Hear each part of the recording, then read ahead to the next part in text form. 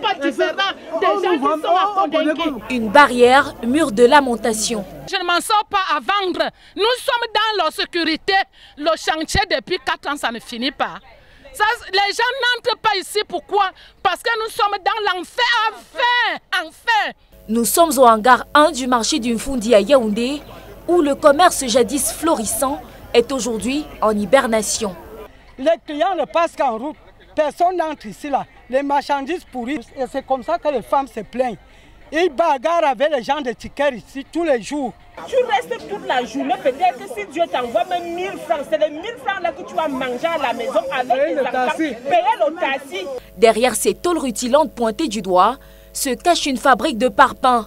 Mais l'on apprend qu'à la base, il était question de résoudre un problème d'inondation en accédant aux égouts. Le chantier semble s'éterniser au grand désarroi des commerçants.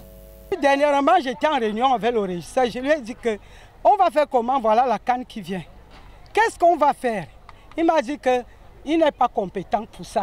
Que ça regarde la personne qu'on a donné le travail, M. Yumbi. Nous décidons d'entrer en contact avec le directeur du marché. À l'accueil, escorte policière, échange houleux et menace à l'endroit de Dame Ekassi que voici.